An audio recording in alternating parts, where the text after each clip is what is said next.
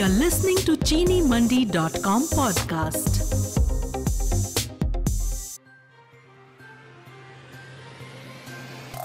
बिहार में गन्ना मूल्य दर में बढ़ोतरी का अनुमान। Philippines save the sugar industry movement ने चीनी के सीधे आयात की आलोचना की। श्री रेणुका शुगर्स ने विस्तारित क्षमता इकाइयों का व्यावसायिक उत्पादन किया शुरू। फिलीपींस, शुगर रेगुलेटरी एडमिनिस्ट्रेशन जब्त की गई चीनी की, करेगा बिक्री। गन्ने का रस कृषि उपज नहीं लगेगा 12 प्रतिशत जीएसटी तमिलनाडु, किसानों से गन्ने के लिए बीमा प्रीमियम का भुगतान करने का आग्रह।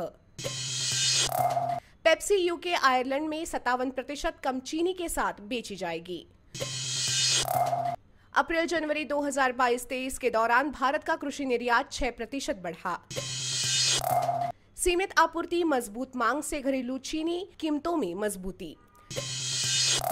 एग्रोनेक्स बायोफ्यूल का मई 2023 तक इथेनॉल इकाई पर काम शुरू करने की योजना।